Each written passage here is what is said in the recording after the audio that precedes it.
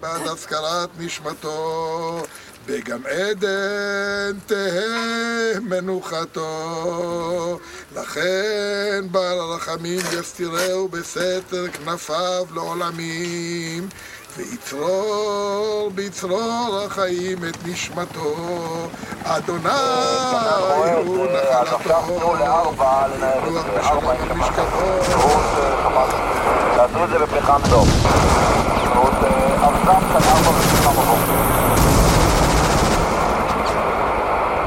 בשבת בצהריים פתחנו רדיו ושמענו שיש מלחמה. ככה המלחמה פרצה, חטפנו התקפות אוויריות, נחתו קומנדו. יום כיפור היית... נפל על שבת. אני באופן אישי, ב-12 בצהריים בשבת עוד הייתי עם תחתונים וגופייה. בעשרה לשתיים, כאשר היינו בקורס מזורז על איך תוקעים אנתרופין לתוך הירך, עברו מעלינו המטוסים הראשונים. פתאום אתה שומע מטוסים באוויר, מה זה, באמצע יום כיפור, וטלפון מיד, תבוא מיד ליחידה. אה, אבא שלי נכנס לאסקורט שלו, לוקח אותי במהירות. מגיעים, והתחושה היא שבעצם, אה, אוקיי, היום השביעי של מלחמת ששת הימים. זה ייגמר, פה, שם, מה הם העזים, מי הם בכלל, מה זה? ואז מגיעות הידיעות שמוצב החרמון נפל. ומגיעים אלינו הליקופטרים ואומרים, אתם יורדים מיד לתעלת סואץ, חסר שם כוחות, המצרים אה, כובשים. אנחנו חותים מהליקופטרים בבלוזה, ורואים הדבר הראשון בצד, שורה של גופות של חיילים, וכנראה רציני.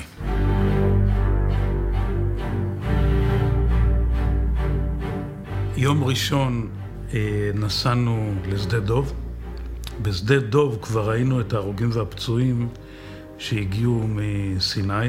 אני צמתי, זה היה יום כיפור. וגם מנשה צם. אני לא ידעתי מה מי אימו, אז אני חיפשתי לחם, ב, ב, ב, לחם בשקיות, בפחים, ומנשה המשיך לצום כמו ששום דבר לא קרה. הפחד אה, היה חזק מאוד ב, בעולם הזה, זו לא הייתה אופוריה כזו. ותחושת הביטחון שלי הייתה, כלומר, כדי לגבור, על, לגבור קצת על הפחד ולהיות יותר אה, מאושש, זה אמרתי, אני חייב להיות עם מנשה בן הגמש, כי איתו כביכול, אני יותר בטוח. תוביל את האש עד שהיא תהיה קרובה, ואחר כך הוא יכניס זלדות ויוציא אותם. עד כאן עבור. שומעים בקשר את כל התמוטטות הגזרה הצפונית זלת סואץ. אני חושב שזה הקולות הקשים ביותר ששמעתי בימי חיי. ומוטי אשכנזי, בודפסט, מתחנן כל הזמן, תעזרו לי, תעזרו לי, תעזרו לי, מבקש ארטילריה, מבקש חיל אוויר, שלא קורה שום דבר. המצרים הצליחו לכבוש את כל המוצבים, למעט בודפשט, שהיה המוצב הצפוני ביותר, שישב ממש על סרטון גובל עם הים התיכון. והגישה אליו הייתה מאוד מורכבת ומסובכת. הייתה מאוד צרה, ובשביל להגיע לשם אתה חייב לנוע בנתיב צר, ואז אם אתה מפעיל כוח חכם וטוב על ידי האויב, אתה בעצם מונע את, ההתקדמות הזאת. בשמיני באוקטובר, בשעות הבוקר, מוציאים אותנו פתאום מהמוצב ואומרים, ישנו טייס שצנח בערב הראשון של המלחמה ליד תעלת סואץ, ושולחים אותנו לחלץ את הטייס. ואז פתאום מטח אש קטלני, מכוונת, לא מסוגלים להתקדם, יש בעיה בכלל, נחלצים משם, ומתחיל קרב של שלוש שעות בערך, קרב נסיגה. יצאנו ובעצם חזרנו לבלוזה. ועד בבלוזה, אז מספרים לנו שיש משימה נוספת, אה, לעשות מערב ליד אה, בודפסט, אה, אם המצרים יעברו וכולי, שיהיה כוח שיבלום אותם. או ינסה גם לחבור לבודפסט. אנחנו אומרים להם, תראו, אנחנו יצאנו כרגע, באנו מנקודה די דומה. יש שם אלפי מצרים, הם מחופרים כבר, הם יושבים שם, זה טירוף להיכנס בצורה כזאת. לא עושים דברים כאלה. צריך לחשוב על דברים אחרים, והם הטילו את המשימה על אה, סיירת שקד.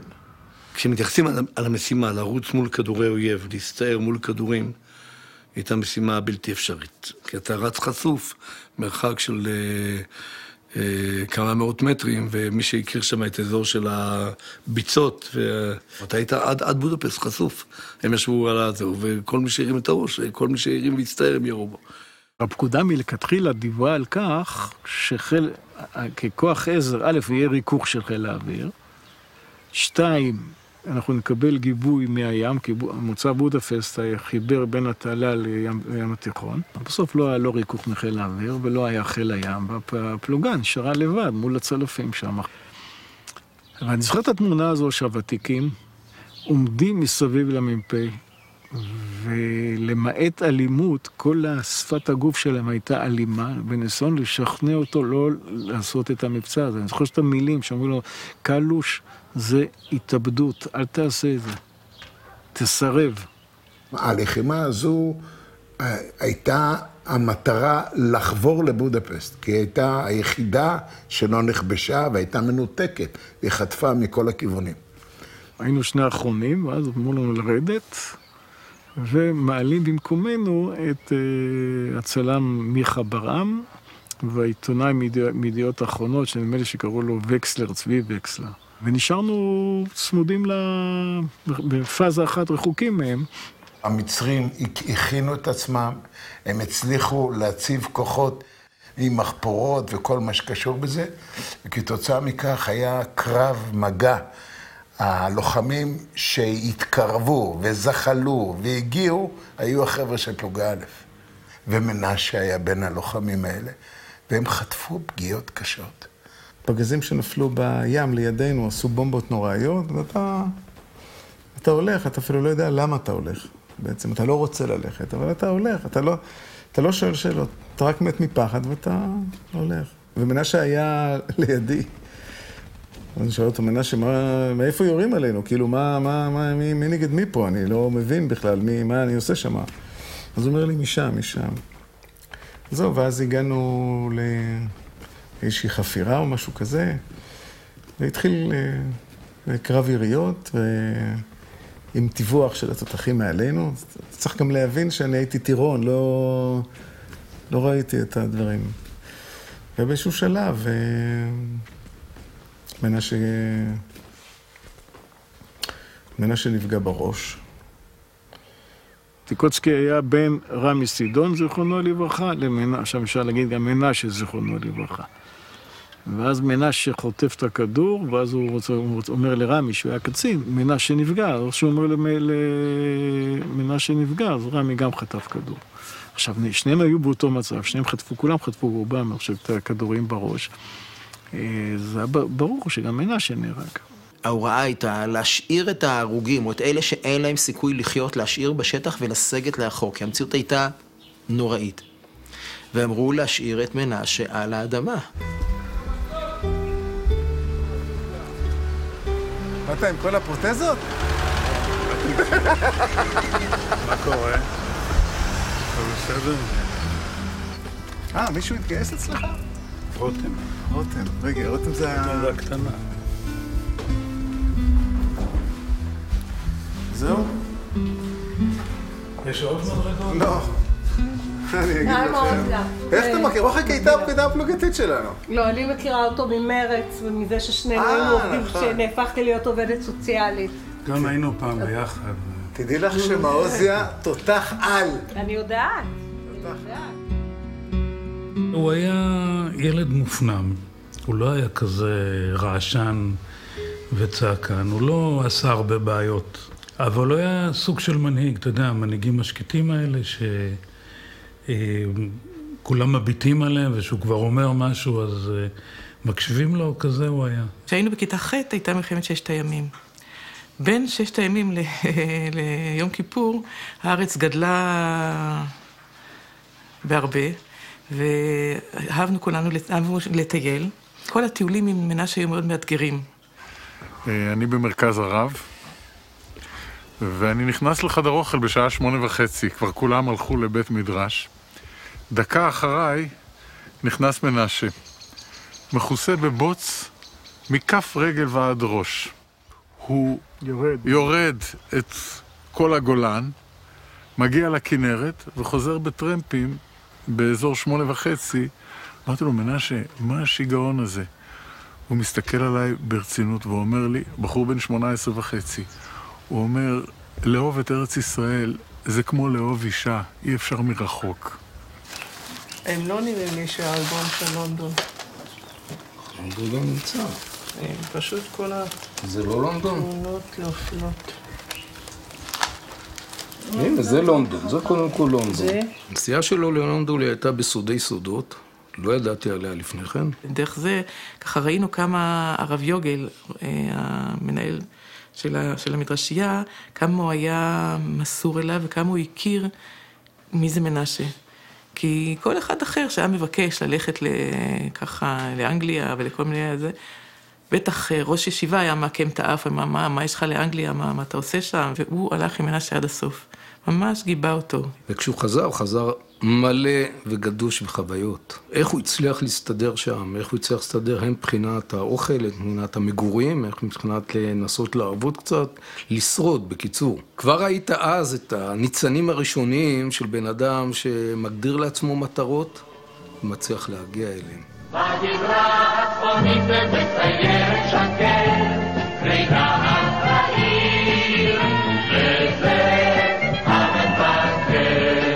סיירת שקד הייתה יחידה פיקודית איכותית מאוד. אנשים התנדבו, וידוע, הייתה יחידה שעשתה פעילויות מאוד מיוחדות, במיוחד במניעת חדירות וכל מיני דברים כאלה, וכמובן גם שעשתה גם כמה פעולות תגמול מאוד משמעותיות בתקופה של דני וולף ופאצי, מעבר לתעלה. היחידה הייתה ברמה גבוהה, גבוהה מאוד ביצועית, וברמה אנושית שהגיעו לחבורה יוצאת מן הכלל.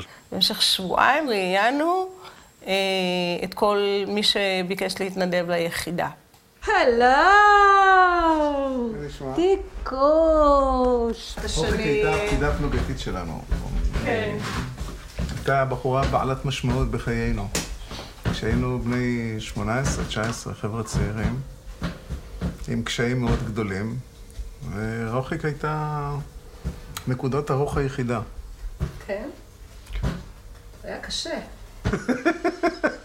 קשה זה understatement, קשה. זה מילה קלה. היחידה הזו הייתה יחידה שכולה היו קיבוצניקים. לא היו עירונים, וכמובן שלא היו גם דתיים. פתאום הגיע בחור עם זקן אבות, גבוה, בנוי לתלפיות, וזה היה מנשה. המבחנים היו קשים מאוד להתקבל, כי הגיעו מאות ואלפים להתקבל, ואנחנו קלטנו רק מספר יחידים. אבל היו כמה מצוינים שהגיעו, ומנשה היה בולט מהרגע הראשון. היה הר אדם, הוא היה חזק, הוא היה גיבור, והוא היה מהרגע הראשון רציני מאוד מאוד מאוד. הכרתי אותו בפתח תקווה, הוא היה בנצח ישראל יחד איתי, שנה מעליי. בפעם הראשונה שהחלפתי איתו מילה אחת או שתיים, זה היה במתחם של שקד. הייתי את מנשה עם זקן, עם כיפה, ואמרתי, מה... ואני התאמנתי לפני זה עם צביקה ורצנו, אמרתי, מה זה פה? מקבלים כל אחד. מהרגע שנפגשנו, אני זוכר, הדבר הכי חזק שיש לי ממנו, זה הרגשת ביטחון. ראית שיש לו איזה סוג של כריזמה שקטה, מיוחדת.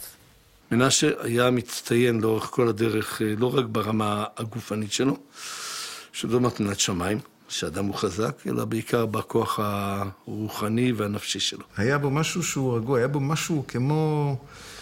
כמו סלע כזה. אני הייתי חזק, אובייקטיבית, היה לי כושר טוב.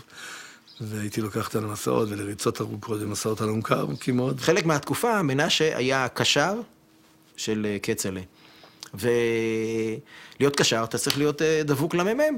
וזה לא פשוט, המ"מ מנסה לקרוא את כל החבר'ה כמה שיותר, הולך כמה שיותר מהר, ומנשה לא מרחיק סנטימטר ממנו. מה שלא הייתי מעמיס עליו, מנשה היה אה, צמוד אליי. כצל'ה, אה, היה לו לא פשוט גם עם מנשה, מכיוון שמנשה, אני מרשה לעצמי לומר, באיזשהו מקום אפילו איים עליו. תשמע, מתפתח לך בתוך המחלקה מנהיג, שהחבר'ה נשמעים לו, ויש לו כושר, וכמה שאתה מ"מ ואתה כל יכול, ואתה בשביל החיילים אה, סגן אלוקים, מנשה היה עם עוצמה שלא היה פשוט להכיל אותה. הוא עשה היסטוריה. הוא היה היחיד, היחיד שהגיע צעיר לפלוגה, מיד מונה למ"כ. אגב, הרבה בזכות כצל'ה, שמאוד אה, למד להעריך אותו, וכצל'ה היה מפקד הצוות שלנו, המחלקה שלנו. והיה לו ברור שמנשה צריך אה, להיות אה, סמל של ותיקים. הוא מבוגר מכולם בעשר שנים, בעשרים שנה בהתנהגות שלו, בהתייחסות שלו, במאמץ שלו, ב- גם, גם מצד הקצינים והמפקדים, הסמלים. ההתייחסות אל מנשה היא תמיד בכבוד. אם היה נגיד איזה סוג של, אה, שהחבר'ה היו מתחראים, אפשר להגיד, כאילו שהגיע איזה שלב של התחרות שקצת כבר הגיע לכל מיני גבולות גסים אולי וכזה, אתה יכול לראות שמנשה עושה ככה עם העיניים, כאילו, וזה משתתק. ואנחנו יושבים חבורה של חבר'ה, וכל מי שמגיע, אז שרים לו. נגיד, אני מגיע, אז שרים, תיקו, תיקו יא בן, למה באת לפלוגה? מגיע דסי, דסי, ד... וככה, כל אחד שמגיע, ומגיע מנשה. יושבים שם כל החבורה, ומתחילים לשיר, מנשה, מנשה, וכולם דממו. זה הסיפור. זה הסיפור של מנשה. מנשה היה בסיירת שקד, הוא רצה לעבור לסיירת מטכ"ל. כן, זו הייתה טעות, כי סיירת שקד הייתה יותר טובה ממטכ"ל, אז זה היה, זה, זה, זה הייתה, זה היו אחד, זה היה, אם אני מונה את הטעויות שלו, זו הייתה הטעות היחידה שלו. המוטיבציה שלו לעבור לסיירת מטכ"ל העבירה אותו על דעתו. לפעמים הייתי אומר לו, מנשה, אתה נפלת על הראש. הוא אמר, מוטי, אני עובר לסיירת מטכ"ל. ואז אנחנו מגיעים לשדה התעופה, אנחנו נמצאים שם עם החגור ועם כל המאובזרים יפה, ומגיע משה דיין ודדו, שהרמטכ"ל, לקראת הפעילות. ואז הוא אומר לי ככה בחצי חיוב, ואתה חושב שהוא צוחק. מה דעתך שאני אגש למשה דיין ואני אגיד לו שאני רוצה לעבור לסיירת מטכ"ל? כן, חייכנו, צחקנו, והאיש קם לי עם החיוך שלו, ואתם יודעים מה, אני הולך עם החגור, צועד אה, כברת דרך של איזה 200 מטר, מגיע לשולחן של משה דיין, המפתח מנסה להגיד לו לא להתקרב, ומשה דיין דווקא קורא לו, נראה כמו בסרטים, והם מדברים. ומשה דיין מוציא פתק ורושם. חזר מנשה אומר, חבר'ה, אני הולך לסרט, אני עובר לסרט מטכ"ל. חודשיים אחרי זה, מלחמת יום כיפור שינתה לכולם את החיים.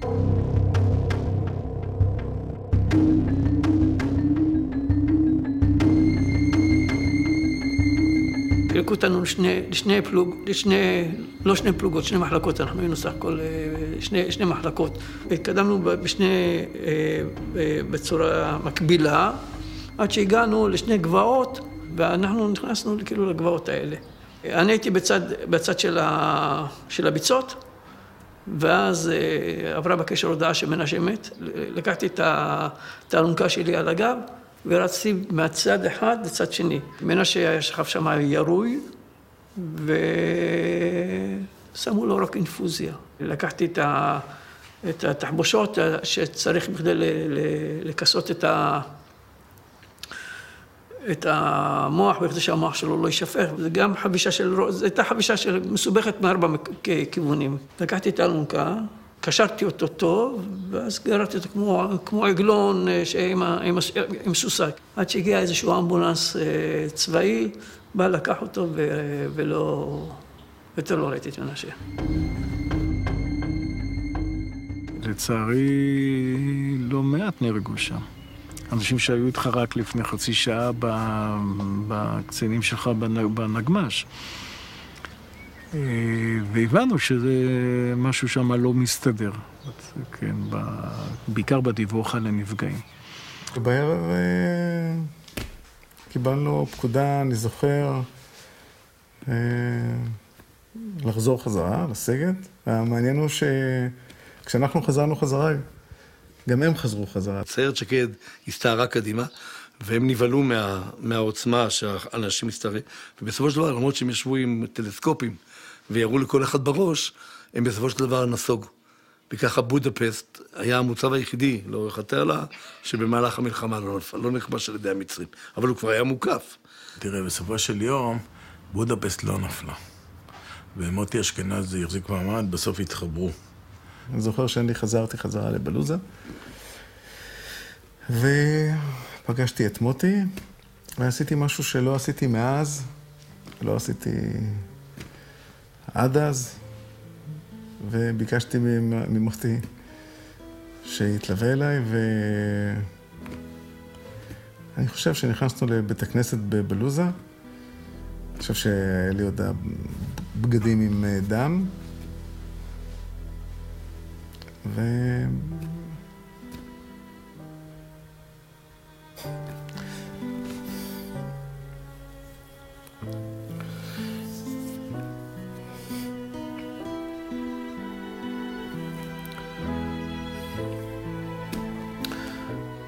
וביקשתי ממוטי ביחד אה,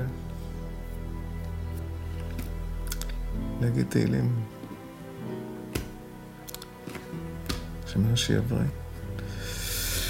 וזהו. בלילה מאוחר, זה היה סיוט. הקישו בדלת, באו לספר כי לא, לא האמינו שהוא, שהוא ישרוד את הלילה או את היום אחריו. הוא נפצע מאוד קשה.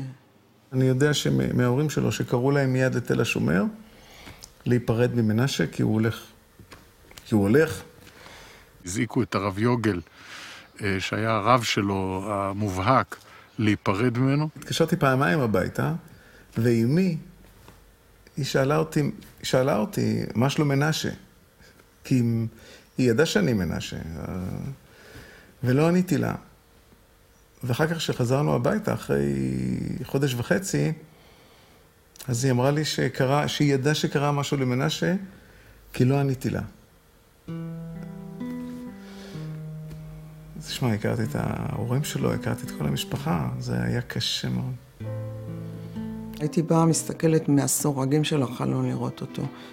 הוא היה בחדר אה, בידוד כזה. בן אדם שוכב, ראש חבוש, חסר הכרה, אין עם מי לדבר, שום דבר. אה, אני בכיתי כמו ילד קטן אחרי זה, אני, אני יכול לזכור, להיזכר בזה גם עכשיו. זאת אומרת, ההר הזה... כשאתה רואה חבר שבאמת ישבת על ידו בכיתה שלוש שנים, אתה מכיר אותו מבני עקיבא, משבט מוריה, אתה מאוד uh, מעריך את, ה, את היכולות שלו, את הנחישות שלו. פתאום אתה רואה אותו בצורה כזאת... לא יודע להגיד, לא, לא יודע, קשה לי. גם כשאתה מציל,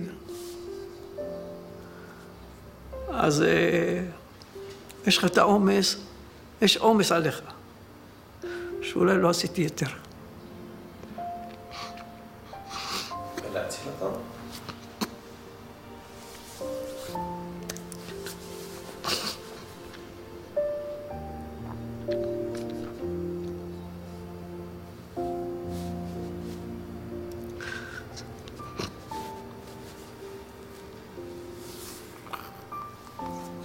תשמע, זה, זה תוצאות של מלחמה.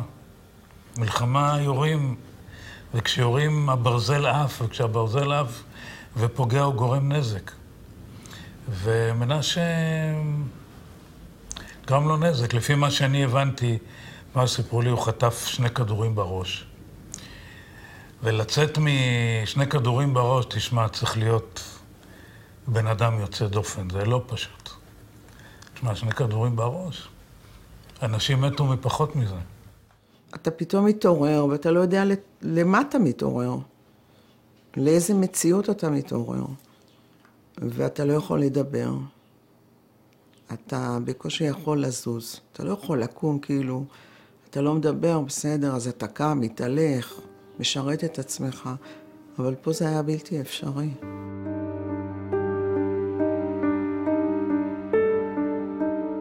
אחרי המלחמה התעוררתי, לא יכולתי לדבר. חשיבה, ירדה. אה, ספרות, ערבית, אנגלית, אה, עברית, הכל נמחק. יכול להיות שטיפה קצת תפסתי מרחק מ- מ- מ- מהנושא הזה. כי זה היה נושא רגשית, היה כבד לי. כל פעם שאני הייתי שומע שהוא נמצא בבית חולים וכל זה, זה היה קורה לי. הוא סיפר שהוא נפצע, אז uh, באו לבקר אותו חברים. אז מה מביאים בחור שהיה בחור ישיבה? ספר. פתח, הוא לא היה יכול לקרוא כלום. אז הוא סיבב את הספר, וסיבב אותו, וסיבב אותו, ככה וככה וככה, והוא לא היה יכול להבין שום דבר.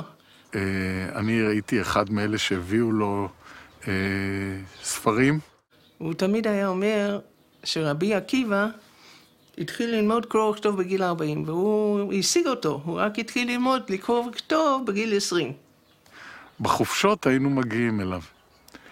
וההתחלה של ההבנה שלנו מה קורה איתו התחילה כאשר ראיתי את המחברות שבו הוא כותב א', א', א', א', ב', ב', ב', אחד ועוד אחד, אחד ועוד שניים. אבל המשמח היה שהוא, את האנשים הוא זכר. כל סוף שבוע שהיה מגיע, אז בעצם קבענו לעצמנו לשבת ביחד ולעשות חזרות על uh, מה שהוא למד במהלך השבוע uh, בבית לוינשטיין. וראית אז את העקשנות שלו ואת ה... uh,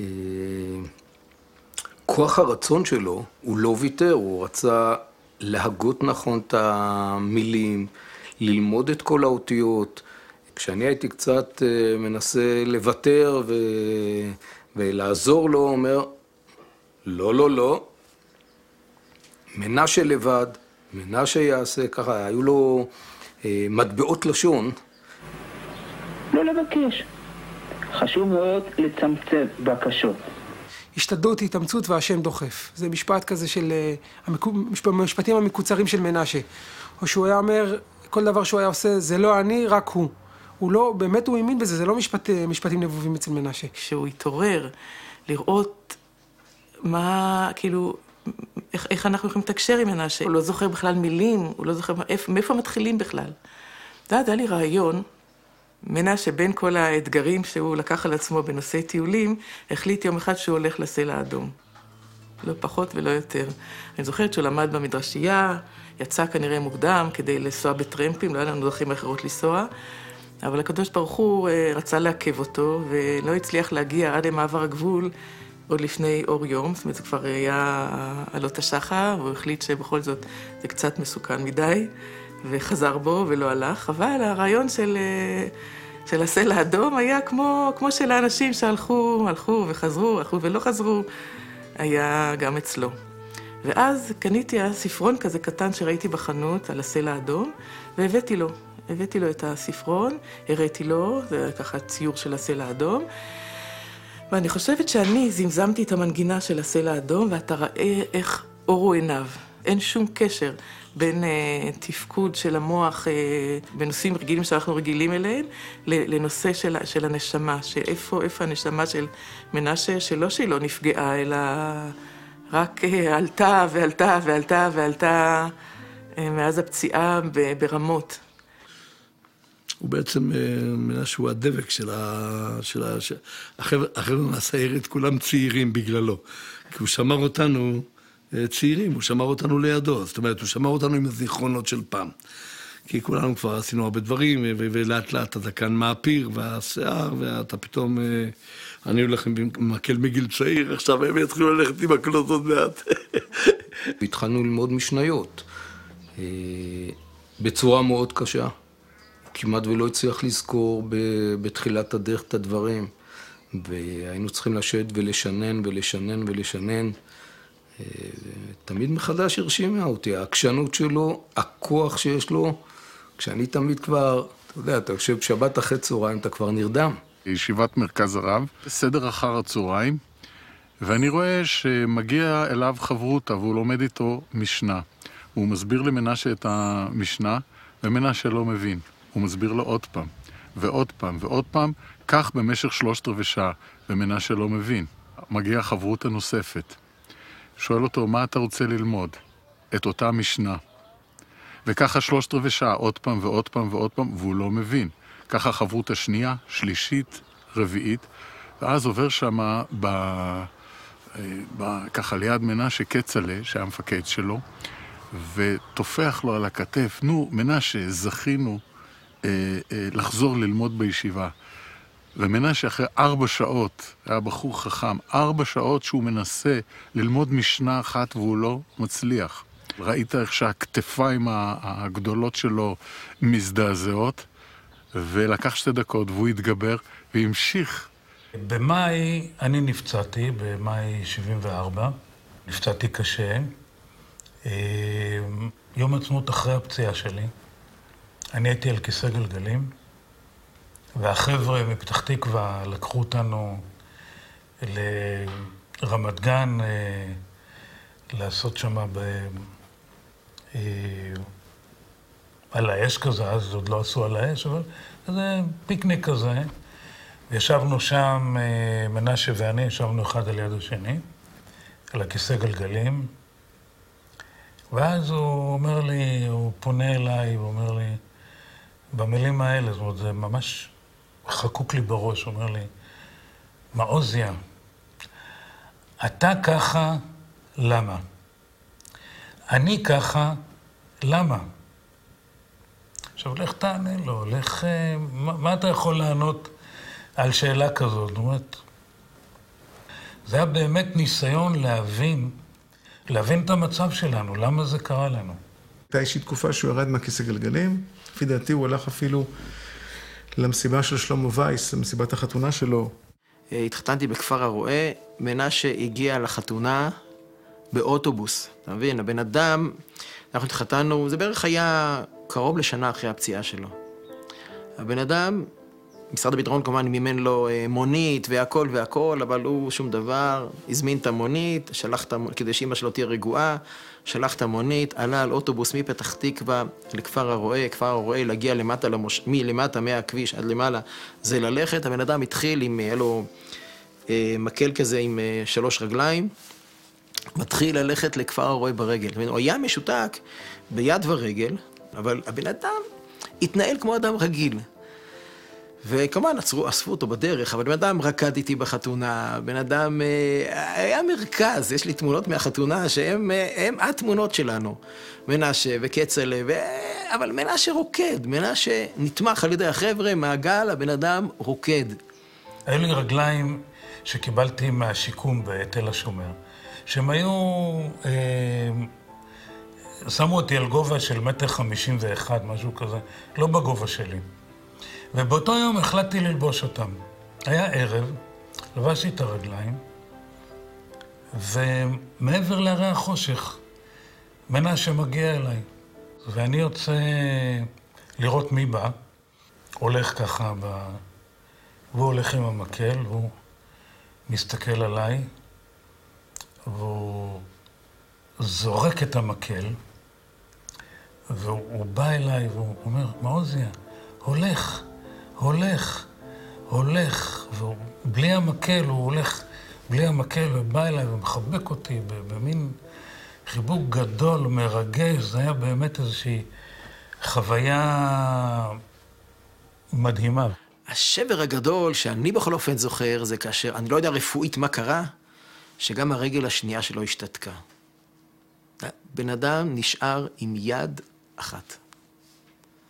יד אחת, זה כבר לא לנסוע באוטובוס, זה מציאות אחרת לגמרי. איזה רבנית שהכירה אותו מזה שהוא למד במרכז הרב, ואותי הכירה גם מתקופה שהייתי במכון מאיר, והיא אמרה, נו, גם הוא צריך להתחתן, אני אחפש לו כלה.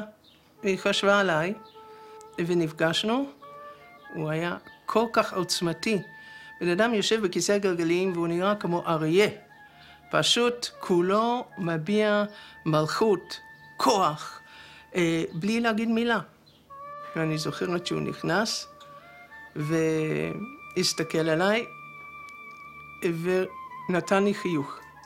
אז אמרתי, טוב, אריה שמחייך, זה בסדר, אני אסתדר איתו. וזהו, ידעתי שזהו זה.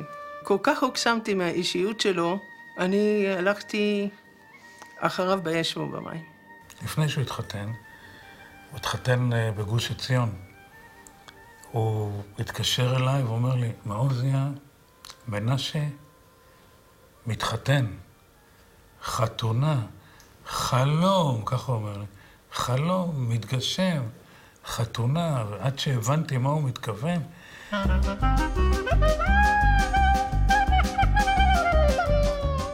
זה היה ממש חתונה של כל עם ישראל. לי היו 80 אורחים. נחמד. מנשה אלף. הוא הזמין, מי לא? את כל הצוות הרפואי, כל החברים שלו, כל המשפחה, יש להם משפחה מאוד גדולה וענפה. אה, נהגי מוניות שהיו לוקחים אותו מפה לשם, מי הוא לא הזמין? כל העולם לא. היה מאוד מאוד שמח. אני הייתי בעננים, אני לא זוכרת כל כך הרבה ימי החתונה, וזה לא שלא היו לנו חלקי דעות, ולפעמים אה, רבנו על משהו, אם אפשר לריב עם מנה, שזה קצת קשה, אבל השתדלתי. לא ידעתי כמה בן אדם צריך שהוא בכיסא גלגלים. איך הוא צריך, מה הוא צריך, גם הוא לא ידע. אז שנינו איכשהו, אה, התבלבל, הסתדרנו. את מנשה בשנים, ברוב השנים, הוא היה מופיע בפני בני נוער. והרעיון היה שהיה בא מישהו איתו, אה, מישהו שמכיר אותו וכן הלאה, ומספר על מנשה וכולי וכולי, ואחר כך הוא היה נכנס, בעיקר בפני בני נוער. הופעתי איתו המון פעמים. הייתי מנהל חינוכי במדרשת הדרום. לשם הגיעו קבוצות נוער בגילאי תיכון. אה, הכנו להם תוכניות בנושא אמונה, לבירור יסודות האמונה ולחיזוק באמונה. החלטתי שאני מכין יחידה סביב הסיפור של מנשה מזרחי אז. הבן אדם היה עומד מול מאות בני נוער, עם השפה העילגת שלו, עם כמות המילים הלא... הבן אדם היה מרתק את האנשים. הם היו מופתעים מאוד, מאוד שמחו, מאוד התרגשו, וכמובן התנהלה שיחה. באמצע קמה בחורה ושואלת אותו, איך אתה מעז לקום לפני אנשים ולדבר שאתה מדבר כל כך גרוע? עכשיו, אני שמעתי את הילדה מדברת נורא בעצמה.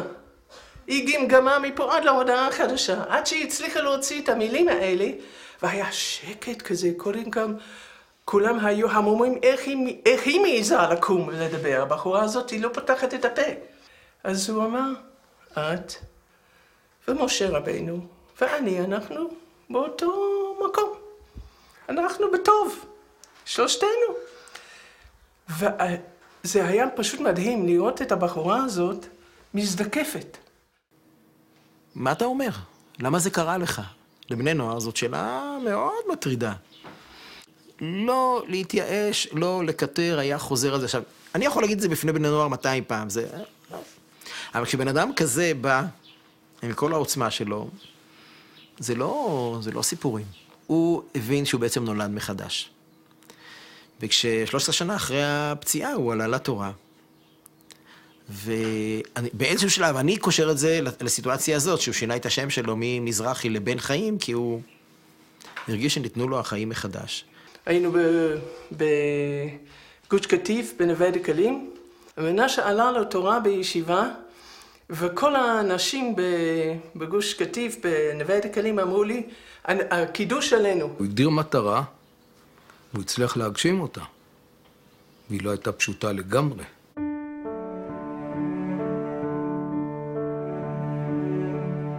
אנחנו היינו נשואים הרבה שנים, בלי ילדים. אז אחרי כל מיני ניסיונות, וניסינו, השתדלנו, הייתה לי חברה מנווה דקלים, שהם גם אימצו שלושה ילדים. אז היא אמרה, למה לא תלכו לאימוץ? העובדת סוציאלית אומרת למנשה, יש לכם טלוויזיה באמת? אמרנו לא. אז איך הילד יקבל תרבות? היא קטלה אותנו מכל, מכל זווית שאפשר. ויצאנו משם, אני הייתי שבורה, הרגשתי כמו איזה גרוטאה שרק מגיע לה לזרוק אותה על הפח, על האשפה. זה לא הזיז לו כלום. ואז יום אחד באה המנהלת לביקור האחרון שלה איתנו, וכשהיא קמה ללכת, היא אומרת, אתם יודעים, בא לי רעיון. יש פה איזו תינוקת ש... אה, היא פגית, והמנהלת של הפגייה אמרה שהיא צריכה ללכת למשפחה רק שאין שם ילדים אחרים, זה הסיכוי הכי טוב בשבילה. מה דעתך? מנשה תמיד אהב אתגרים. כל מה שסיפרו לך פה על מנשה זה, הוא תמיד חיפש עוד אתגר בחיים. הביאו את התינוקת לחדר, ומנשה היה לו דלפק כזה לפני הכיסא, אז הוא שם את היד ככה, ושמתי אותה פה, עם הראש פה, ואז היא הסתכלה למעלה, היא הושיטה את שני הידיים שלה לזקן של מנשה, קשקשה לו בזקן, והתינוקת הזאת חייכה מאוזן עד אוזן. מאותו רגע שהיא חייכה עליו, היה להם קשר נפש ממש. הוא היה אדם אה, באמת עם יכולות בלתי רגילות, כושר הנהגה, אה, אדם, אדם עם אנרגיות בלתי רגילות. כל בוקר היינו הופכים, מטפחים על הבטן, והוא היה עושה 100 שכיבות צמיחה ביד אחת, שאתה לא עומד, אתה עמום מהדבר הזה. מין פתוס כזה של שקט, של ביטחון, ולא נורא, וגם אם יהיה קשה, וכן הלאה. הוא אמר לי לפעמים, אה, אני חושב שלא הייתי מגיע לאן שהגעתי אם לא היה קורה לי את הפציעה הזאת. דווקא לפעמים בן אדם ש, שהוא, שמוריד כל מיני, אה, כל מיני לבושים או מעטה פיזי, אה, פונקציונלי, פתאום כאילו הוא נשאר עם ה... עם ה, עם ה, עם ה איך אני קורא לזה? פח שמן טהור, כאילו משהו מאוד מזוקק. מילה אחת, אמונה. והאמונה הזאת, זה היה היסוד שהניע את כל החיים שלו, את כל המעשים שלו, את הרגשות שלו, את המחשבות שלו, את האישיות שלו, את כל התנהלות חייו. האמונה שלו, אחרי הפציעה, רק התגברה. הוא נהיה עוד יותר מאמין. כמו שכתוב, הוא שם מבטחו באל. מה שקורה, אולי צריך היה שיקרה, אה, זה לא תאונה, הקדוש ברוך הוא לא, אה, לא מפספס פה משהו. הוא מסתכל גם למעלה ומצביע למעלה, ואומר, זה הכל מת השם. הוא היה מין רבה כזה, הוא היה מין אה, אדמו"ר כזה. אדמו"ר מוגבל, לכאורה בדברים של אנשים, אבל דווקא המוגבלות עשתה אותו עוד יותר, אה, עוד יותר עליון, עוד יותר, אה, עוד יותר קרוב אליו יתברך. ותמיד עסוק בעניינים של כלל ישראל, תמיד עסוק בעניינים של עם ישראל. לכן בפועל, בלי לדבר הרבה, הוא הולך לעצמונה, הוא מגשים, הוא הולך אחר כך לימית, והוא בא לבת עין. מאוד אהב לשבת פה. ולהסתכל על הנוף. אנחנו רואים ביתה, אנחנו רואים צור הדסה. כל ההרים פה, הוא אהב לשבת פה ולהסתכל על הנוף. פה זה ארץ ישראל, ועד לים. באנו לבקר את מנשה, ואחד החברים, צביקה, עישן. עכשיו אתה רואה שזה כואב למנשה. כואב. אמיתי, אתה פשוט רואה את זה. עכשיו, גם לי זה כואב, אבל אתה... זה קשה להבין. אני זוכר יום אחד, תפס את צביקה לשיחה, ואומר לו, לא להישבר, אין לו יכול, שקט. נתן לו מין שיחת מוטיבציה, שעכשיו, עם מעט מאוד מילים. הוא לא הוציא מהפה שלו הגה בלי שלמילה הזו, אנחנו זורקים מילים, יוצא לנו בכמויות, מה נשמע, מה שלומך, אהלן, גל הכיפאק, אה, איך היה, איך היה טיול, אתה אפילו לא מקשיב, אתה אפילו לא שומע, אתה פולט סדרה של מילים אוטומטית שאתה פוגש מישהו ואתה אפילו לא זוכר מה אמרת ומה הוא דיבר, לכל מילה הייתה משמעות. דרך מנשה, ממה שהרגשתי, אם יש כזו עוצמה וכזו רוח באדם, כנראה שיש אלוהים בעולם. אם היה משהו שחזר על עצמו פעם אחר פעם והשאיר אותנו משתאים, זה הרצון שלו להעביר לנו מסר אחד, לשמוח. וככל שהקדוש ברוך הוא לקח ממנו יותר, ככל שנלקח ממנו יותר, כך הוא יתחזק יותר באמירה הזאת. להוכיח שאפשר להיות בעולם, בגלל שבורא עולם רוצה להוכיח שיש יהודי שאין לו מהעולם הזה לכאורה שום דבר, אבל הוא מודה להשם על כל שנייה ושנייה שהוא חי. זה לא ברור מאליו שלגדול לכזה אבא.